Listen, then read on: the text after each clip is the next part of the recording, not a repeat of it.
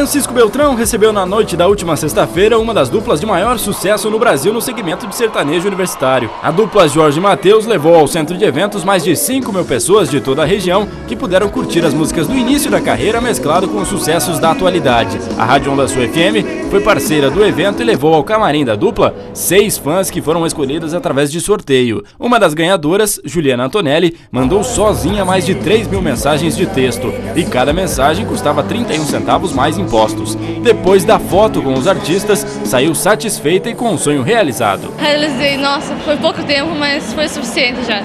São bonitos? Muito bonitos. Já de foto são lindos, imagina de perto. Como é que você conseguiu visitar o camarim deles? Nossa, consegui por, tipo, pela promoção da rádio, né? Das mensagens. Fui mandando, mandando até que. Quantas mensagens você mandou? Nossa, chegou a quase 3 mil mensagens. E a conta do telefone, quem vai pagar?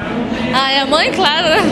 A dupla chegou em Beltrão na última sexta-feira por volta das 10 da manhã. Enquanto Matheus preferiu dormir no hotel, Jorge descansou, jogou futebol com os amigos da produção e aproveitou para dar uma voltinha pelas ruas da cidade. Antes do show, os dois, de bom humor, contaram como foi o dia em Beltrão e curiosidades sobre a carreira.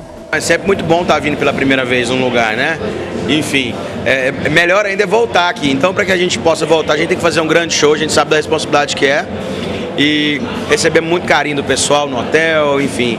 É, vamos subir no palco e cantar com todo o coração ali pra, pra galera.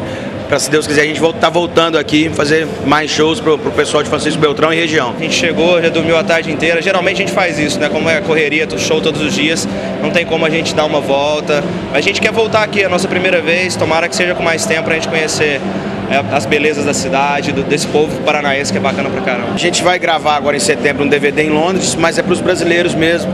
Enfim, o Brasil está em alta também, né? O Brasil está todo mundo olhando para o Brasil e a música não ia ficar de fora. A cultura brasileira é uma cultura muito representativa. E, enfim, tomara que sim, se a gente puder ter a oportunidade de. Já viajamos aí mundo afora para tocar para brasileiro. Mas se a gente tiver a oportunidade de sair tocando para pessoas de outros países, para estrangeiros que que apesar de falarem outras línguas, gostam do nosso ritmo, da nossa música, vai ser um prazer muito grande.